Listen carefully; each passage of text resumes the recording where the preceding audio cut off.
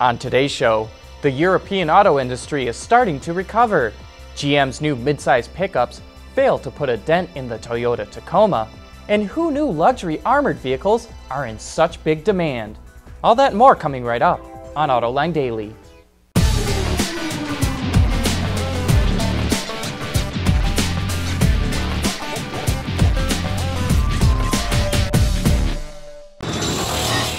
This is Autoline Daily for September 8th of 2015.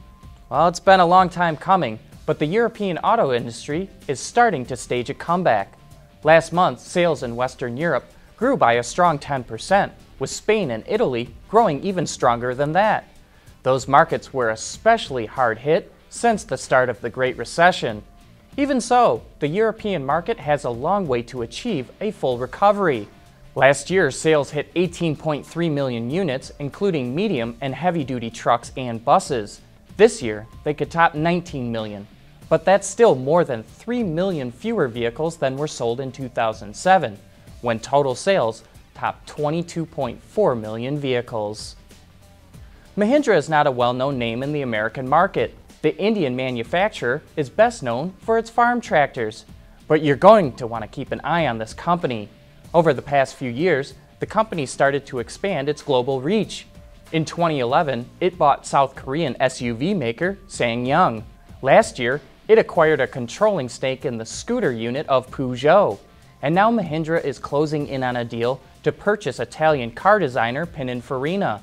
The two companies started talks back in March, but negotiations stalled because Pininfarina's creditor banks didn't accept the deal. Now a deal could be completed in the next few days. We'll be back to talk about armor plating right after this. AutoLine Daily is brought to you by Bridgestone Tires, your journey, our passion, Dow Automotive Systems, breakthrough technologies for lightweight vehicles, and by Pure Michigan, leading the automotive world in intelligent connected vehicles. We run on brain power. When I think of armored vehicles, my mind goes to some specialty shop upfitting Cadillacs and Suburbans. But for the first time, Land Rover is producing them in-house.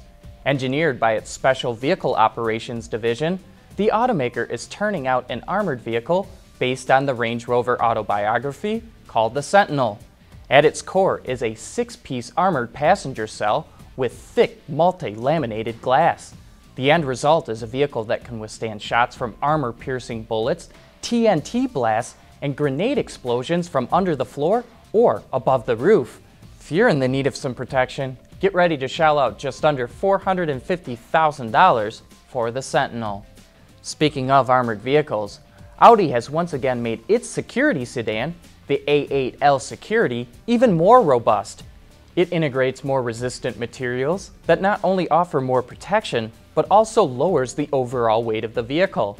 The security is now certified to the requirements of resistance class VR9, which is currently the most stringent requirements for civilian high security sedans.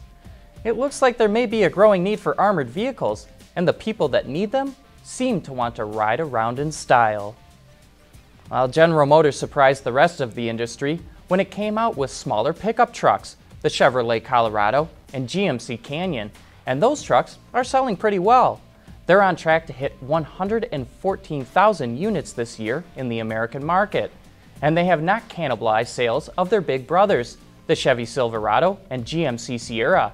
Those big trucks are gaining sales and market share against their competitors. But neither have the Colorado and Canyon put a dent in sales of their main competitor, the Toyota Tacoma. Its sales are up 18.8% this year. Even though there's a new Tacoma coming out, it's not included in these numbers. So that means Toyota is getting a double digit sales increase out of a 10 year old truck, which has the highest resale of any vehicle in the American market. But Nissan is feeling the heat in the segment. Sales of the Frontier are down 12% so far this year. Speaking of Toyota, if you'd like to see the all new Prius get unveiled later today, just follow the link in today's transcript. The new hybrid will be shown off in Las Vegas starting at 9 p.m. Pacific time. Coming up next, a look at the biggest hurdles that could trip up fully autonomous cars. For the people at Dow, Racing is a sport and a science. We enjoy one and learn from the other. But like most competitive people, we like winning at both. This is the human element at work. Dow. On last week's Autoline After Hours, we were joined by Peter Sweatman, the director of the University of Michigan's autonomous test site called MCity. During the discussion, he shared what the biggest obstacles self-driving cars face. I guess the way I look at it is we're going to go through quite a protracted period where, and maybe forever, where we have a mix of autom- of machines that are, are very intelligent, um, interacting with conventionally driven vehicles. So I think the, the real hurdles are, are to do with that. Um, they're to do with questions like, you know, that the occupant might have to uh, take over and do something occasionally. Are they really going to be able to purposefully be have their attention recalled from whatever they might be doing uh, while they're in the vehicle when they don't have to drive and pay attention? So questions like that, but also the interaction between the the machines and the human-driven vehicles. And I guess the way I put it is that um, human the human drivers cheat. You know, they speed, they tailgate, uh, they, they go through red lights, um, or at least amber lights, and, and the machines do exactly what they're supposed to do.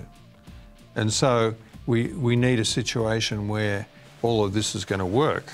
So we're going to have to be a lot more real about what we expect the whole system to do. You can watch that entire show right now on our website or on our YouTube channel. That wraps up today's show. Thank you for watching. Please join us again tomorrow.